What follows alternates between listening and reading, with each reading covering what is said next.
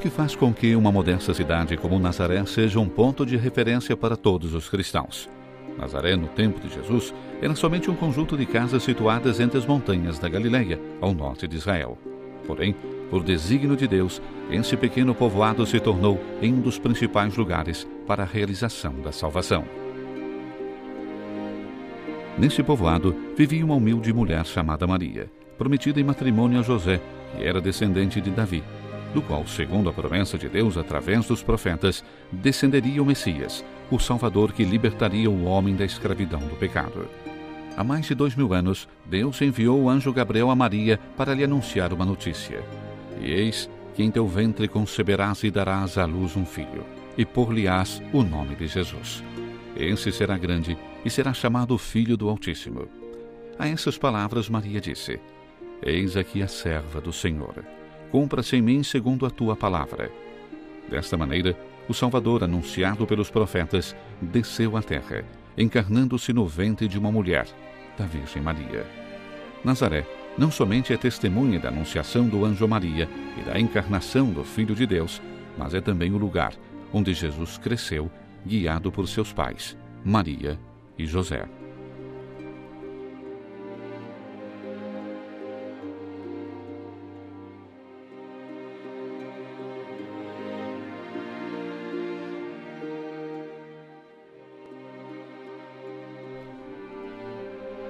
Através de diferentes fontes históricas, sabemos que durante os primeiros séculos do cristianismo, Nazaré e, sobretudo, a casa onde o anjo apareceu a Maria, foram transformados em lugares de culto para os fiéis.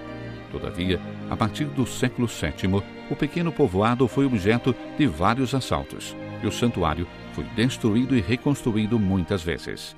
A atual Basílica da Anunciação foi construída entre os anos 1960 e 1969, no lugar das igrejas mais antigas, que foram erigidas em uma gruta identificada como o lugar da Anunciação.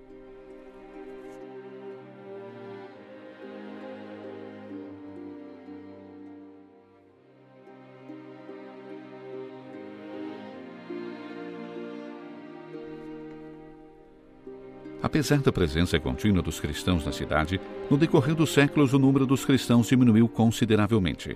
Atualmente, Nazaré se tornou o centro administrativo da Galileia e tem quase 72 mil habitantes, dos quais 40% são cristãos.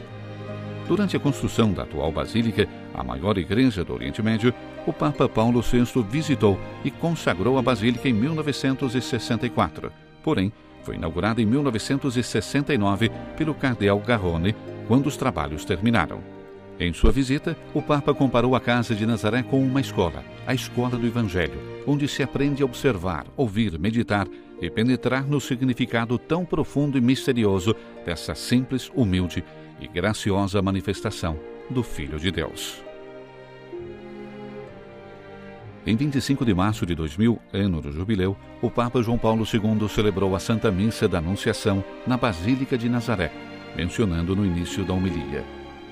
Desejei voltar à cidade de Jesus para sentir mais uma vez, no contato com este lugar, a presença da mulher da qual Santo Agostinho escreveu. Ele escolheu a mãe que havia criado. Criou a mãe que escolhera.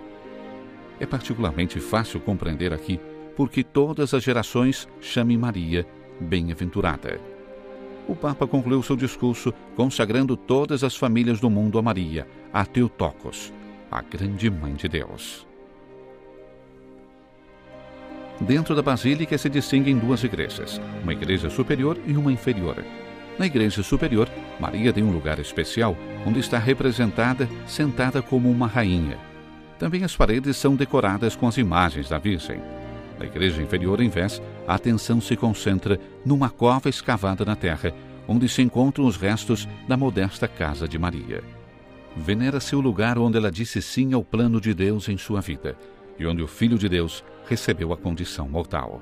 De fato, no altar está uma inscrição que diz: Verbum caro factum est hic.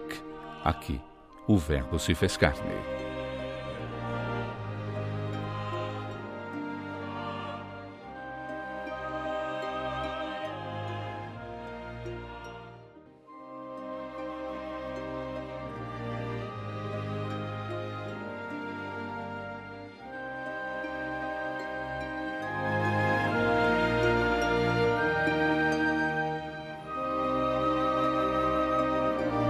Consagro a Maria, a Teotocos, a grande mãe de Deus, as famílias da Terra Santa, as famílias do mundo.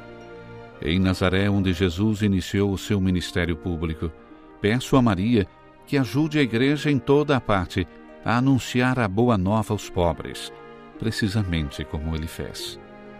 Nesse ano de graça do Senhor, peço que ela nos ensine o caminho da humilde e jubilosa obediência ao Evangelho no serviço dos nossos irmãos e irmãs, sem preferências nem preconceitos.